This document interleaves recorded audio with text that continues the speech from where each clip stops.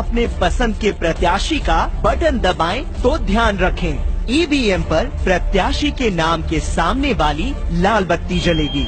Beep सुनाई देगी और ठीक उसी समय ईवीएम के बगल में रखे हुए वीवी पैड के प्रिंटर में एक पर्ची छपेगी। छपने के बाद लगभग सात सेकंड तक यह पर्ची पारदर्शी खिड़की में लटकी रहेगी।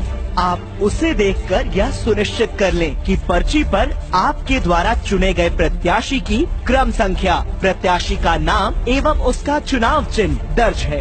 यह इसका सबूत है कि आपका मत आपके द्वारा चुने गए प्रत्याशी को ही गया है।